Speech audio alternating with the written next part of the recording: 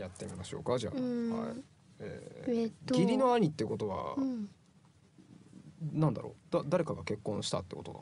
そうだね。おなん親か同士が結婚してるかもしああー親同士か。じゃあ親同士士にしようか。うん。はい。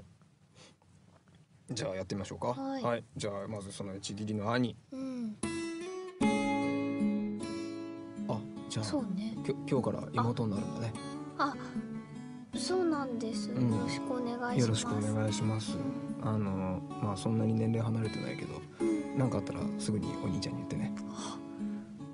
ええお兄ちゃん！欲しい！トシ君みたいなお兄ちゃん！す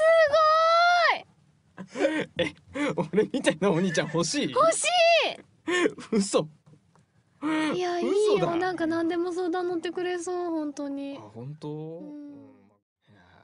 ん。いやでもやっぱりお兄ちゃんだったな。そうね、うん。お兄ちゃんだとだってほら毎日いるからねあそうだね。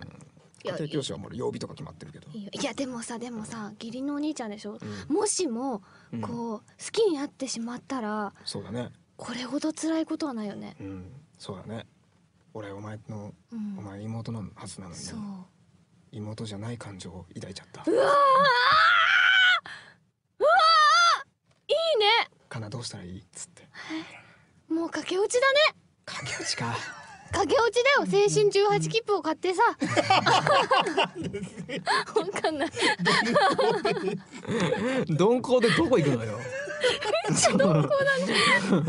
その鈍行おっそゆっくりだぜ。うそうだね。んそうねいいよ。それさ電車の中でさこう肩に持たれたりしてね。そうだよ。手繋いでんだよ。鈍行だね。鈍行だわそれ。鈍行です。鈍行。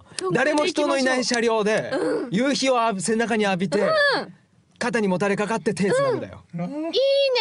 もう私どうでもいいやみたいなね。あ。あなたと一緒ならみたいな。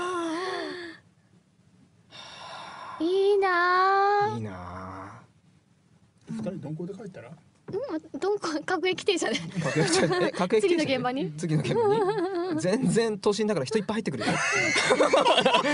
全然人いっぱい入ってくるよ多分。座れないかもしれないよ多分。そうだね。うん。うん立ってる可能性あるよね。立ってうん。地下鉄だし。夕日浴びれねえ夕日浴びれねえし。各駅しかないし。こ